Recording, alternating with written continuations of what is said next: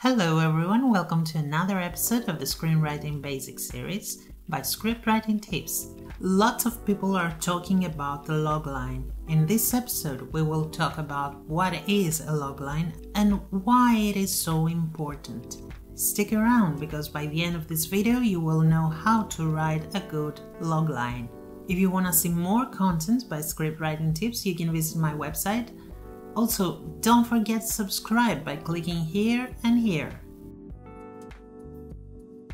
A logline is a one sentence, two tops summary of your story. But what is the use of a logline? Why we need it? Why such a fuss about it? A logline has two different important uses. The most known use of a logline is to sell your script. It is the first thing you say when you're pitching your story so it has to be really interesting and grab the attention immediately. It has to hook your audience as soon as they hear it.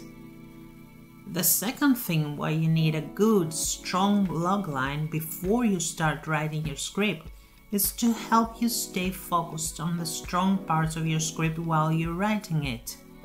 Every time you're writing straight away, you should reread your logline and remember to keep in your script only the things that make it strong. Sometimes we like our writing so much that we forget our goal. A strong logline will help you at these moments to come back to your goal. If you create a good logline before you start writing your screenplay, you avoid losing too much time writing the wrong idea. A weak logline many times indicates also a weak script whereas a strong logline can be your guide, your flashlight on which things are the most important in your story. The screenwriter Michael Langsfield has come up with an easy way to remember how to prepare your pitch using the five finger method, and I believe that this is the best method to use in order to build a strong logline. Here's the five finger method.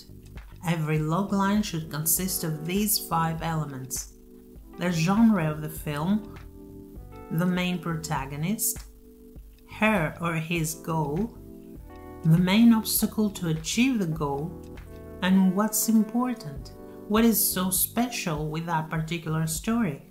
So let's start building a logline and watch how we can improve it, turning it from boring into interesting. Let's start with the main idea, which is a drama about a woman who is confronted with her past when her illegitimate daughter appears at her doorstep 20 years later. It's okay, but it's a bit boring. The conflict has to become stronger.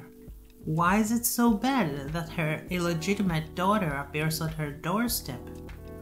Let's add some more conflict. Who is this woman?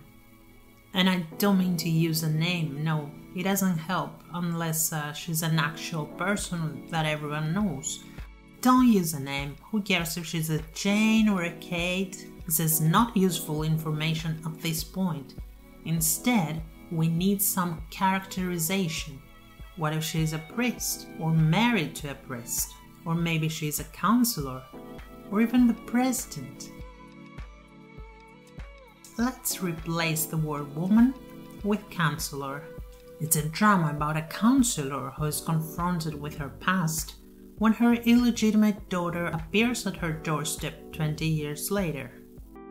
Now we need an adjective. Always add one or two adjectives, mostly something that will work against her. We really want to build conflict.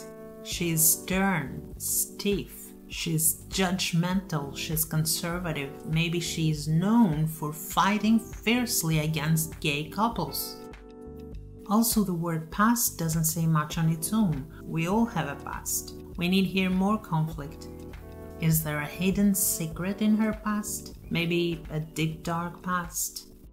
Let's add these as well.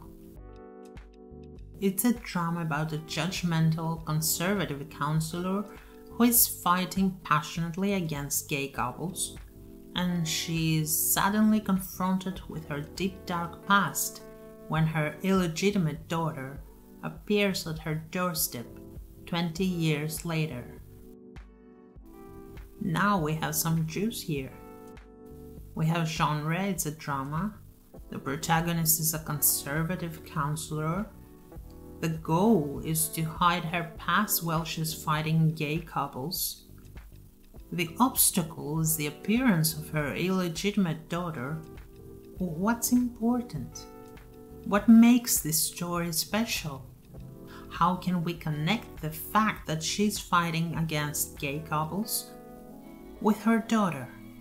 Hmm, let's see. It's a drama about a judgmental conservative counselor is fighting passionately against gay couples, and she is suddenly confronted with her deep dark past when her illegitimate daughter, raised by two lesbians, appears at her doorstep 20 years later. So, what's important in this story? In order to be accepted by society, you need to learn about acceptance yourself. In order for her to be accepted by society, she needs to learn about acceptance herself. So that's it. It's not the best idea, but I'm sure you've got much more interesting ideas to work on. And now you know how. So that's all for now. Another episode of the Screenwriting Basics series has come to its end. Don't forget subscribe and visit my website in scriptwritingtips.com as well as my Facebook page. Feel free to ask anything in the comment section below. Find out more about screenwriting by choosing to watch any of the videos on the screen. See you soon. This is Apollonia and Script Writing Tips.